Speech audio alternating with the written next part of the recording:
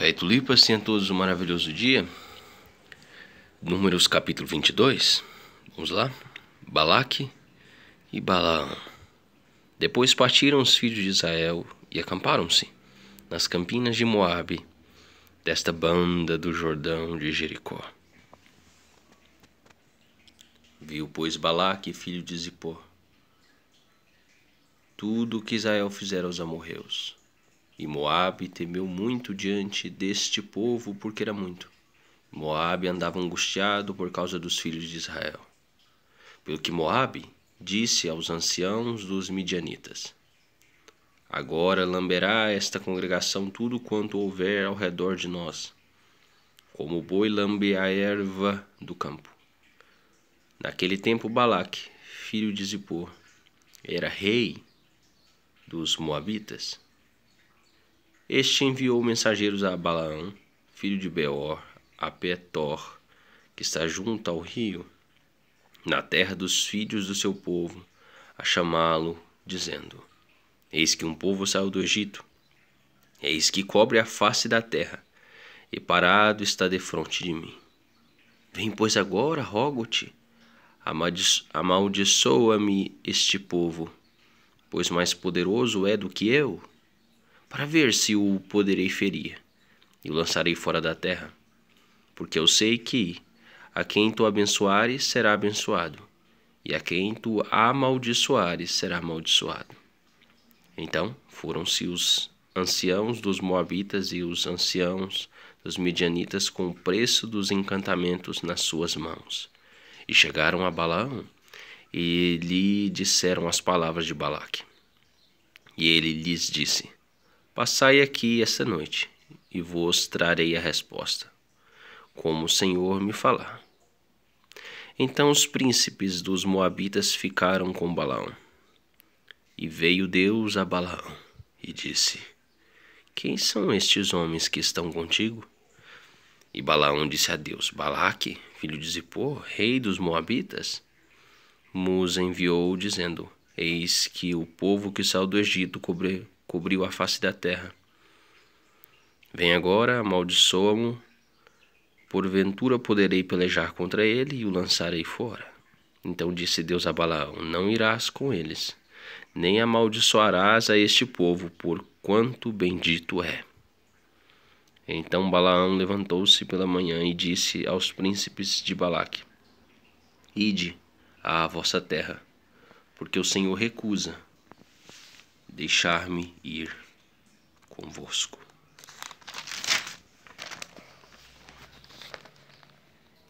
E levantaram-se os príncipes dos Moabitas e vieram a Balaque e disseram: Balaão recusou vir conosco. Porém, Balaque prosseguiu ainda em enviar mais príncipes e mais honrados do que aqueles, os quais vieram a Balaão e lhe disseram: Assim diz Balaque, filho de Zippor: Rogo-te que não te demores em vir a mim, porque grandemente te honrarei e farei tudo o que me disseres. Vem, pois, rogo-te, amaldiçoa-me este povo. Então Balaque respondeu e disse aos servos de Balaque: Ainda que Balaque me desse a sua casa cheia de prata e de ouro, eu não poderia traspassar o mandado do Senhor meu Deus para fazer coisa pequena ou grande. Agora, pois, rogo-vos que também aqui fiqueis esta noite, para que eu saiba o que o Senhor me dirá mais. Veio, pois, o Senhor a Balaão de noite e disse-lhe: Se aqueles homens te vierem chamar, levanta-te e vai com eles, todavia farás o que eu te disser. Então Balaão levantou-se pela manhã e abardou sua jumenta e foi-se com os príncipes de Moabe. E a ira do Senhor acendeu-se porque ele se ia. E o anjo do Senhor pôs-se-lhe no caminho por adversário. E ele ia caminhando, montado na sua jumenta, e dois de seus moços com ele. Viu, pois, a jumenta o anjo do Senhor que estava no caminho, com a sua espada desembanhada na mão, pelo que desviou-se a jumenta do caminho e foi-se pelo campo. Então Balaão espancou a jumenta para fazê-la retornar ao caminho. Mas o anjo do Senhor pôs-se numa vereda de vinhas, havendo uma parede desta banda e uma parede da outra. Vendo, pois, a jumento o anjo do Senhor, apertou-se contra a parede, e apertou contra a parede o pé de Balaão, pelo que tornou a espancá-la. Então o anjo do Senhor passou mais adiante e pôs-se num lugar estreito, onde não havia caminho para se desviar nem para a direita nem para a esquerda. E, vendo a jumenta, o anjo do Senhor deitou-se debaixo de Balaão, e a ira de Balaão acendeu-se e espancou a jumenta com o bordão. Então o Senhor abriu a boca da jumenta, a qual disse a Balaão: Que te fiz eu? Que me espancaste estas três vezes? E Balaão disse à jumenta: Por que zombaste de mim? Oxalá tivera eu uma espada na mão, porque agora te matara. E a jumenta disse a Balaão: Porventura não sou a tua jumenta, e que cavalgaste desde o tempo que eu fui tu até hoje? Costumei eu alguma vez fazer assim contigo? E respondeu: Não.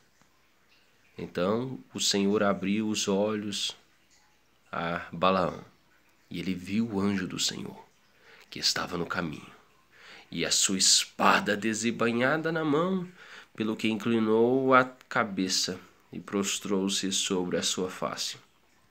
Então o anjo do Senhor lhe disse: Porque já três vezes espancaste a tua jumenta? Eis que eu saí para ser teu adversário, porquanto o teu caminho é perverso diante de mim. Porém a jumenta me viu e já três vezes se desviou de diante de mim. Se ela se não desviara de diante de mim, na verdade que eu agora te tivera matado, e a ela deixara com vida. Então Balaão disse ao anjo do Senhor: Pequei, que não soube que estavas neste caminho para te opores a mim, e agora, se parece mal aos teus olhos, tornar-me-ei. E disse o anjo do Senhor a Balaão: Vai-te com estes homens, mas somente a palavra que eu falar a ti esta falarás. Assim Balaão foi-se com os príncipes de Balaque. Ouvindo, pois, Balaque que Balaão vinha, saiu-lhe ao encontro até a cidade de Moabe, que está no termo de Arnon, na extremidade do termo dele. E Balaque dissera a Balaão: Porventura não enviei diligentemente a chamar-te? Por que não vieste a mim? Não posso eu, na verdade, honrar-te? Então Balaão disse a Balaque: Eis que eu tenho vindo a ti, porventura poderei eu agora de alguma forma falar alguma coisa?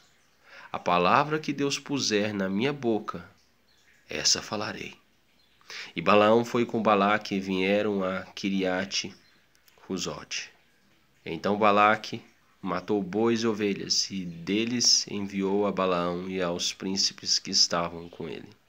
E sucedeu que, pela manhã, Balaque tomou a Balaão e o fez subir aos altos de Baal. E viu ele dali a última parte do povo. Se Deus quiser, amanhã, capítulo 23 de Números.